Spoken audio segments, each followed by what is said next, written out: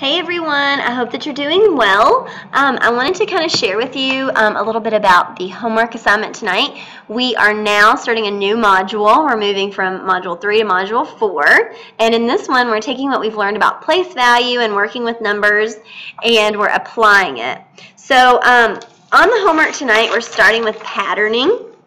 And so you'll see that your child's homework looks like this, and it's front and back side. And attached to it, you will see the problem set that we did together today. And that should be totally completed because we did that in class together. Um, if you have any questions, you're more than welcome to email me or text me um, using Remind.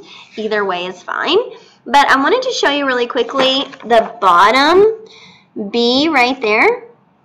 We have learned something called the arrow way, and it's a new concept for us, and I want to kind of give you a brief um, introduction as to how to use it.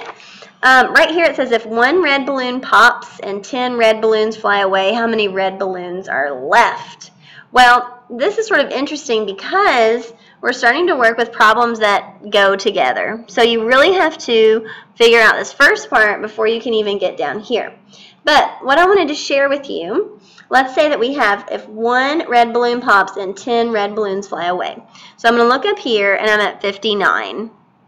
So with the arrow way, what we're going to do is it's sort of like a number line. So I have 59. And I'm always going to start on the right side of my paper, 59. And it says if one balloon pops and 10 balloons fly away, how many are left? So what I'm going to do, to show that one balloon is popped, I'm going to do a small minus 1 right there. And I'm going to draw an arrow. That's why this is called the arrow way. And I know that 59 minus 1, that equals 58. And then it said that 10 more popped.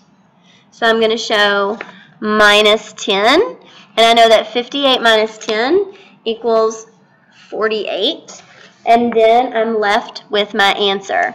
On that problem, it says use the arrow way to show your work, and this is how you use the arrow way. Okay, so if you have any questions, please let me know, um, and good luck. Have a wonderful night. Thanks so much. Bye.